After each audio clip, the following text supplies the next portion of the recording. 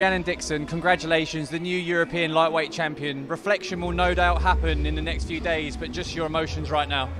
I can't believe it. Like Anthony's been building up my confidence more and more this camp and just saying like, you know how good you are, like you, you belong to be here, you deserve to be here. And tonight I think finally actually listened to him and believed him. But yeah, it's just I can't I think it'll finally sink in tomorrow when I wake up and I go, Oh my god, I'm the European champion.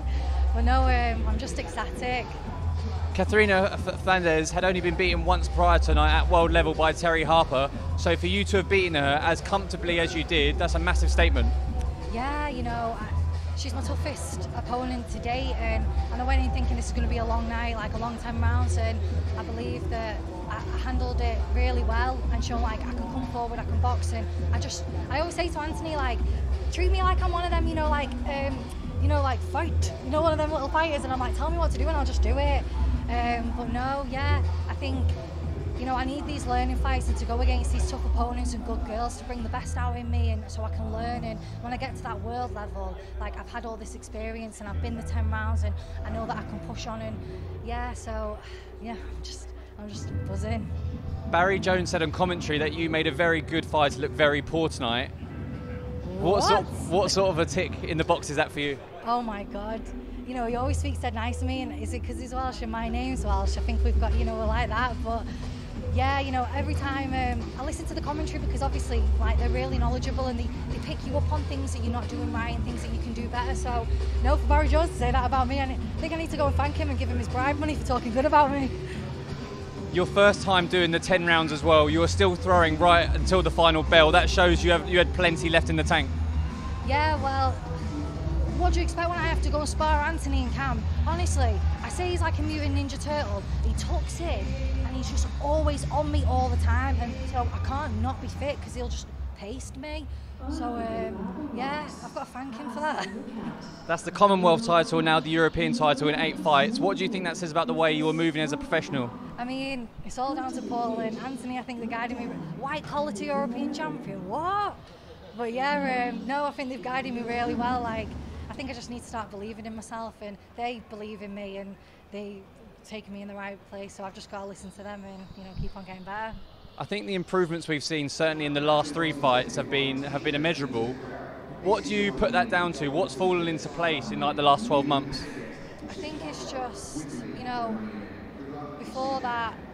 I, haven't got all that amateur experience, and you know I'm doing so much with Anthony. We've got Dominic as well, haven't we? And Paul's coming. I've just got um, what's Carl, nutritionist, and I feel like Martin Cullen, S&C. I feel like everything's coming into place now, and it's just clicking. And um, you know, we do loads of rounds together, and he picks me up on everything. Like, you know, even when we're sparring, you're like, don't do that again. I'm the only one he shouts at. Everyone else gets a pat on the back all the time. He's so harsh on me. But yeah, it just it'll make me a better fighter in the end.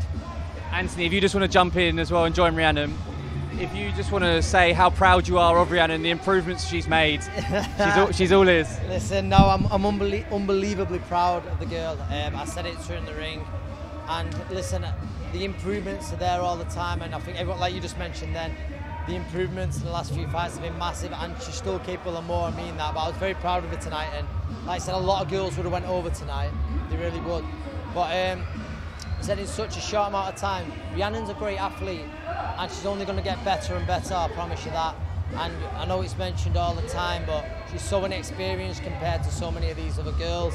So for her to be fighting the girls, she's been matched very well. And uh, I believe she's got a great team behind us, like she said there, you know, everyone in the gym. Her mate Dom, who's, you know, massive help.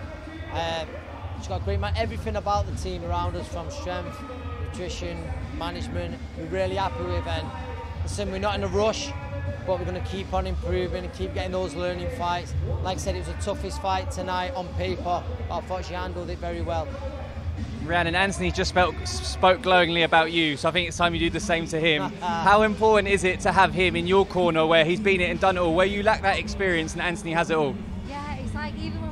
When we're inspiring, it's just someone who's been there, done that, been to the top, and it's like you know when when you're making weight and things like that, you've just got someone who's been through it and knows what you're going through, and he can give you that push. And yeah, it's just you know I've got to give him credit where credit's due. Haven't I? He's, he's all right. I think I, I'm making you look good. Don't make this about start me. saying he's a good coach because of me.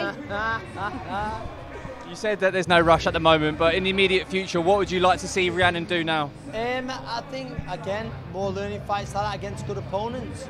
Um, I think she's going to have had a long camp, so she's going to have a week or so off, and then we'd love to get her out in December, and all that's the plan. Um, she's been in the gym an awful lot this year, so it's important that she rests. But obviously, end of the year is not too far away, so yeah, she'll be back in very soon. And like I said, I thought she was very, very good tonight, but I know there's more improvement in her, and um, it's exciting. Rhiannon Dixon, congratulations. I'll let you go and enjoy becoming the new Euro- European lightweight champion. Thank